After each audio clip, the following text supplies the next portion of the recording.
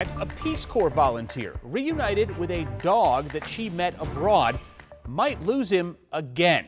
You see, her dog arrived in the U.S. from Africa last month, and now the CDC says he's got to go back, even though we got vaccinated at the airport.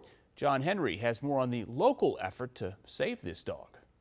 Peace Corps volunteer Audra Elam could not wait to be reunited with her dog Socrates after four months away. The pair had been separated in the African nation of Togo following the coronavirus's initial spread. He's my best friend. But Elam, an Illinois native, got some bad news in June when Socrates landed at JFK Airport in New York. I'm told that he doesn't meet CDC requirements. She said the CDC said it planned to deport Socrates Friday so he could quarantine back in Africa. Elam said the company that helped ship Socrates to the U.S. also handled his paperwork paperwork. But along the way, there was a mix-up. The CDC eventually found that Socrates' documents were inaccurate and that his rabies vaccine had expired. And I pled for revaccination and quarantine on my own dime. Socrates ultimately got vaccinated at JFK, but Elam says the CDC still plans to deport her dog. She says he arrived malnourished. She said the family caring for him in Togo has fallen on hard times and hasn't been able to feed him regularly. They are amazing, um, but they have their own animals to feed. We reached out to the CDC this afternoon, but have yet to receive a response.